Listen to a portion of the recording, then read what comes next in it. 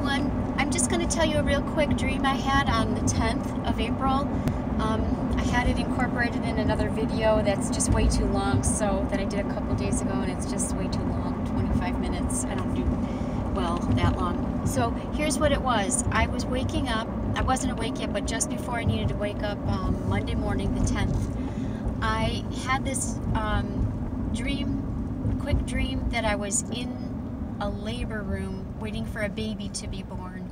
I had a knowing that it was a, a, a delivery room um, in the corner of a delivery room area. It was like as if I felt like it was late at night because there was a dim light on, and it was just a, it was just a quick knowing and the feeling the presence of being in a delivery room a baby that was about to be born and I thought that would be encouraging for all of you to um, know that. Those who have eyes to see and ears to hear, I know you will know what that means.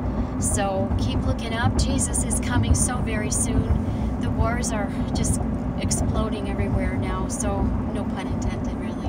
Um, God loves you so much. Make sure you are right with God. Ask Him to renew in you a clean heart um, and a right spirit within you, and, and confess your sins if you haven't, and ask Jesus into your heart if you're not saved, ask Him to come into your heart and be your Lord and Savior and tell Him how sorry you are for all your sins because He took care of all of that for you at the cross.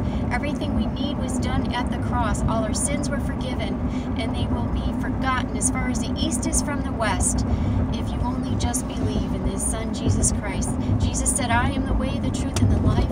No man comes to the Father but by me. There is no other man, name men under heaven whereby we must be, be saved And that name is Jesus Christ. He is our only way, the only truth, and, and you will not please the Father until you accept His Son, Jesus Christ, as your Lord and Savior. God bless you all in Jesus' name.